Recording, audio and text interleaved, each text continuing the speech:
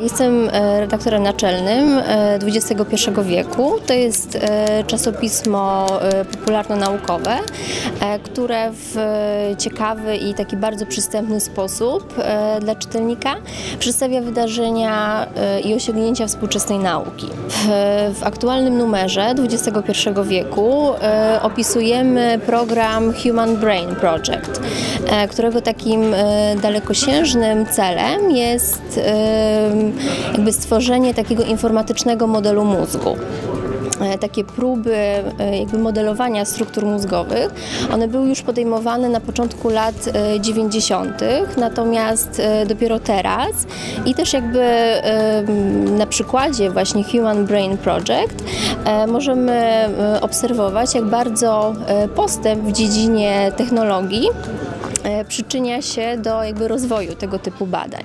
E, Natomiast e, w naszym miesięczniku e, nie brakuje też tematów związanych z historią. E, Każde wydanie XXI wieku e, zawiera dodatek specjalny ekstra, e, który w całości jest poświęcony e, tematom historycznym.